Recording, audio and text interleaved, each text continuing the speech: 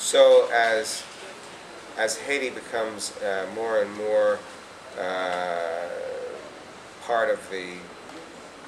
the developed world, and as more of the population starts to have a diet that is uh, similar to what we have in many of the other countries in the developed world, we will find that the types of diseases we see are, are changing. Even now, a Haitian diet includes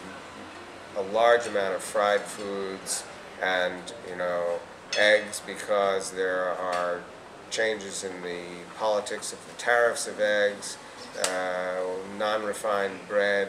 uh, white rice. These are all things that can contribute both to increases in the cholesterol content in the blood and also the occurrence of diabetes in the population.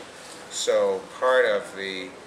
uh, the chore, the task of the, the Haiti Heart Care Foundation will be to increase the uh, education in the population